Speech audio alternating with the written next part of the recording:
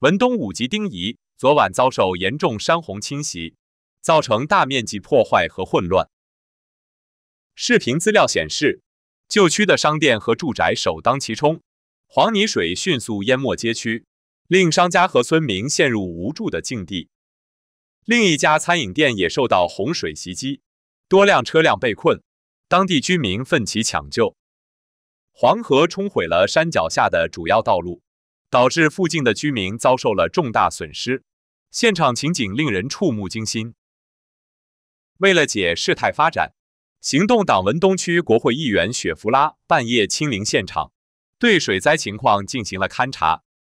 根据最新消息。五级丁仪旧区的两条道路因洪水冲击而受到破坏，目前暂时无法通车。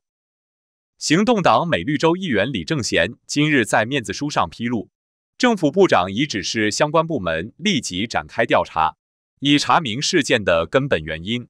一旦调查报告完成，该部门将优先拨款用于紧急修复和善后项目。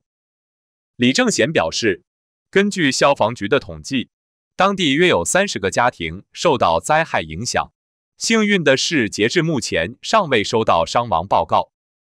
他同时对在山洪爆发中受灾的民众表示最诚挚的慰问，并呼吁社区齐心协力，共同努力早日重建家园。公正党代表大会今日迎来了第二天的会议，尽管大部分中央领导人都出席了，但现场仍存在大量空位。首相兼公正党主席安华今早九时抵达布城国际会展中心，出席代表大会。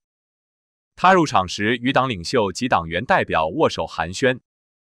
根据大会议长阿莫卡辛的表示，今日出席的代表总数为一千三百九十一人，观察员则超过一千二百人，超出了最初设定的五百人的目标。土团党主席穆尤丁戏剧性的宣布将继续捍卫主席职位，引起焦点话题。公正党秘书长塞夫丁在公正党代表大会开幕礼上发表演讲时表示，公正党大会关注的是民生和国家课题，而与之同时进行的土团党大会则似乎只关心穆尤丁是否会继续担任主席，上演了一场关于主席之位的戏剧。塞夫丁指出。土团党的大会宣布主席辞职，并希望退位。然而，在辩论环节中，却一直挽留他不要退下来。最高理事会召开特别会议，否决了接受辞职的提议。最终，主席没有下台。民生、经济和国际课题，并非土团党大会的重点。他强调，公正党大会不能出现类似的情况。辩论环节必须专注于治理国家和行政透明等重要议题。公正党大会必须讨论政治稳定、提振经济，以及关注人民福祉和公益的议题。最重要的是实施更好的治理方针。明年四月，我们将迎来二十五周年。这次的大会具有两个重要的里程碑。此外，十一月二十五日既是党主席安华任相一周年。也是联合政府成立的一周年。首相安华在昨晚的大会上发表政策演辞时，强调团结政府在改革道路上的中庸取舍，并表示必须吸取过去的教训。他指出，改革的过程不能过于急促，必须保持中庸，以确保改革的可持续性。在团结政府执政一周年之际，安华明确表示。行动党未曾反对任何涉及穆斯林、土著及马来人利益的计划，不存在行动党威胁伊斯兰和马来人的说法。不要一再侮辱行动党。安华表示，他理解行动党是为了争取其他族群的利益和权益，因此他愿意全力捍卫行动党，即使这可能影响他的支持度。他提到2018年西蒙政府上台时的争议。指出，一小撮精英执意要签署消除一切种族歧视国际公约埃舍，导致政府遭到反对。尽管这些精英目前身处敌对阵营，但西蒙联盟仍感受到这一决定带来的负面影响。安华强调，团结政府夹在不同的舆论压力中，一方面被指责不够伊斯兰化，另一方面则被批评改革不够迅速。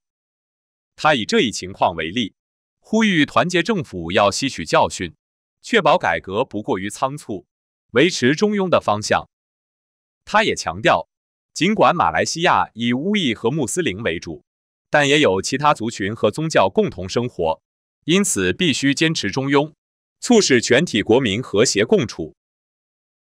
安华也宣布，我国将在今年年底前成功消除绝对贫穷，成为全球首个有能力解决绝对贫穷问题的国家。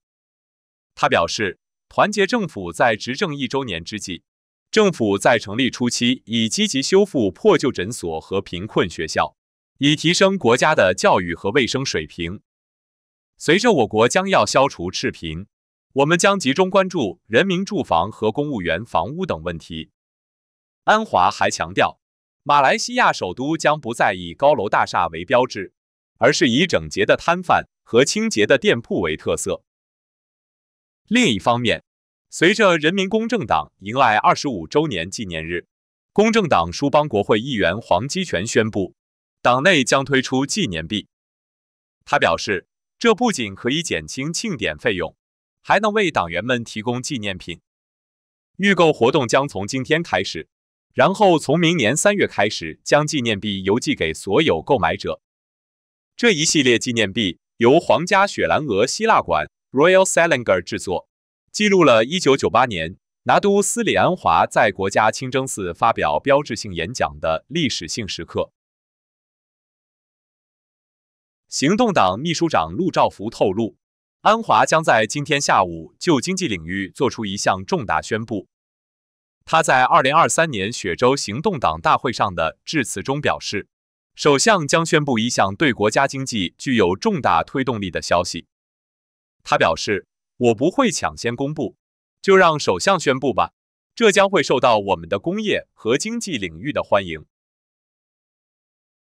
滨州政府宣布，在州内四个地区发现近一千亿令吉的稀土元素 （Re） 资源，总计约一百七十万吨。掌管滨州环境事务行政议员山达拉祖是在林冠英的书面问答中如是指出。山达拉祖表示。开发计划将取决于地质方面的详细研究结果，例如风化剖面厚度和非放射性稀土元素矿物的富集区。他表示，在发展这一宝贵资源前，州政府也需要将其他，如森林保留区、环境敏感区域 （KSAS）、蓄水区水坝、商业用地地位、州矿业条例的执法等因素纳入考量中。